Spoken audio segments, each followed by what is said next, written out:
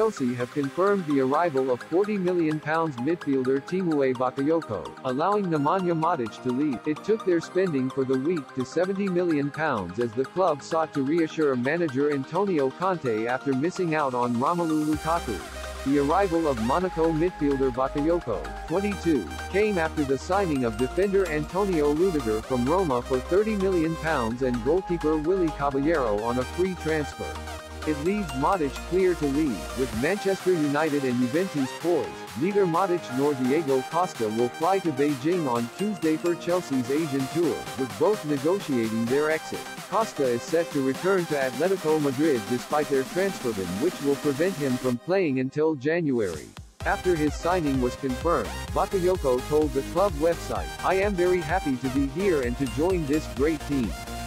I have grown up watching Chelsea, signing was the natural thing for me because it is a club I loved very much in my childhood. I am now looking forward to evolving under this fantastic coach and alongside so many great teammates. Bakayoko rose to prominence last season as Monaco pipped PSG to the French league title, and reached the last four of the Champions League, beating Manchester City and Borussia Dortmund en route.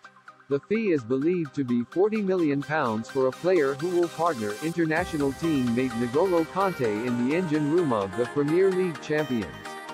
While Kante will provide the destructive and energetic side to midfield play, Chelsea will look to Bakayoko for more expansive passing, as well being a physical presence.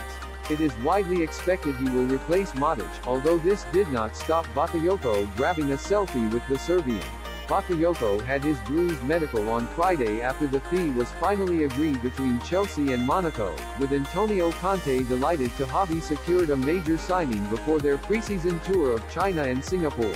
The midfielder had been linked with Manchester United, who successfully hijacked Chelsea's attempts to sign Romelu Lukaku, so the confirmation of Bakayoko will be a source of relief to the club as well as happiness. He had been a long-term target for Chelsea, but knee surgery at the end of last campaign meant the deal took longer to complete than desired. A video posted to the official Chelsea Twitter page showed Bakayoko arriving at the club training ground, and watching his new teammates train before meeting them. He then had a friendly meeting with new manager Conte, who took his hand and slapped him jovially on the arm before having a chat.